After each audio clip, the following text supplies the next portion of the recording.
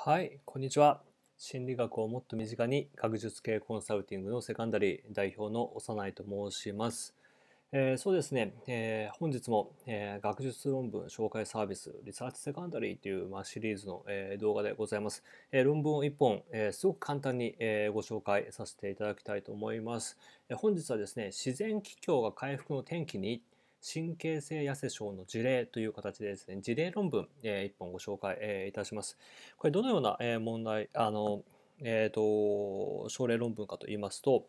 えーまあ、16歳の女性の症例についての論文で、えーまあ、神経性、えー、痩せ症、えー、という形、えー、なわけなんですけれども、まあ、2年、前から、続く、まあ、あの体重減少が、続いていましてこうしばらくこう症状の改善が見られなかったらしいんですね。